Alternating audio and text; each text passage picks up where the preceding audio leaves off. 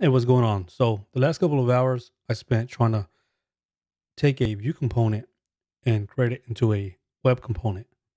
So um, I got the process down and I wanted to document it for my personal use because I'm sure I'm going to use this again.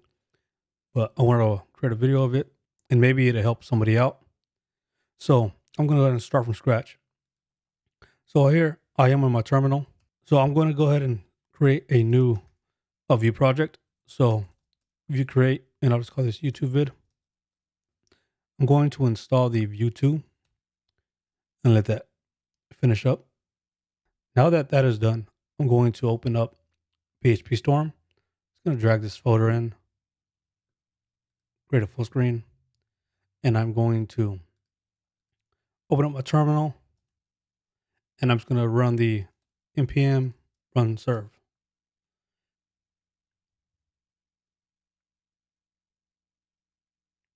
All right, give that a quick look. We don't need the iTerm anymore. So this is the basic um, Vue app here.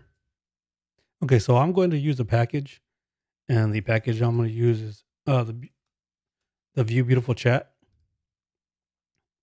and I'm just going to install this so we can do the npm install Vue Beautiful Chat.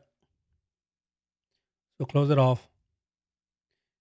npm install and let that run. All right, so we're just going to go through the docs here. We're going to include, I mean, we're going to import and use in our main.js file. So under source, main.js, we'll go ahead and just pull that in. And then in the app.vue file, we're going to we're going to get rid of all of this. We're going to get rid of the content that's in here. Go to the styles.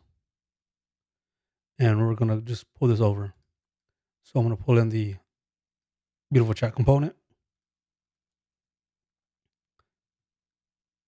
And the the script here. So all this up to the export. It's to go here. We can get rid of this import here.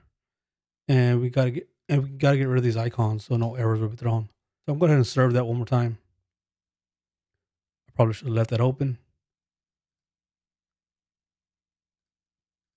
So refresh, and we got this component showing correctly. But now I want to use this component on this test Laravel site without having to compile and install Vue using the uh, using the package manager. So this will work on any site, uh, whether it's static HTML or it's um, Laravel here. So now that I'm back on my project files, I'm going and close that off. And since it's working correctly, so I'm gonna run the command vue CLI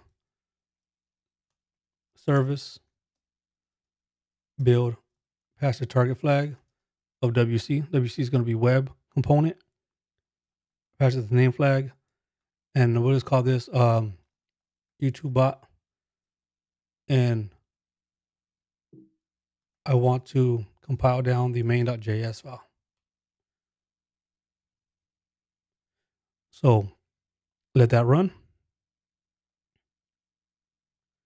And now we have a, a distribution file here. So what I'm going to do is I'm going to copy this JavaScript. And in this test.laravel application here, I'm going to include it here. So since Valet doesn't allow you to load static files without um, including a driver, all I'm going to do is I'll pull in the CDN package for Vue here, just above the closing body. So I'm going to go to my public JavaScript. I'm just going to paste in that YouTube bot.js file and refresh the page. It's not showing, so I'm going to inspect the element.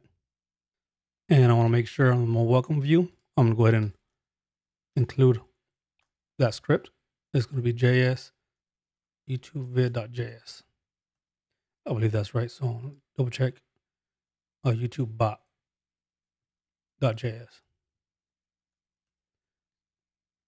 Come over here, refresh the page. And now this test Laravel application has this has this component and it's only including the CDN. Um, so next part is getting it to work with custom components. So I just wanted to walk through that process so I can kind of drill it in my brain. And I know I'm going to run to this again. So just basically getting the component ready for a web component. And uh, we didn't pass any data in. We just basically got the, the shell taken care of.